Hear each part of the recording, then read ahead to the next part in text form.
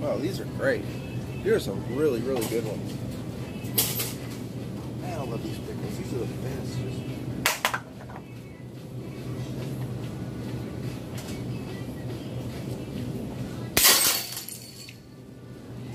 Shit.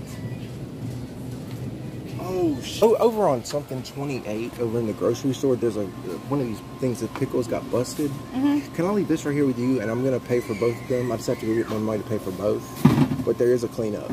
Okay, you said what now? What is it? Uh, One of these pit jars of pickles broke over Uh-huh. on the aisle, and so I still want to buy this one, and I, Okay. I want to pay for the other one. I think it was my fault. Okay, okay, so cool. I'm just I'm gonna go to the car and get more money to pay for both. Okay, but that's I, I think it's like A or B 28. Okay. Right. All right. I'll be right back.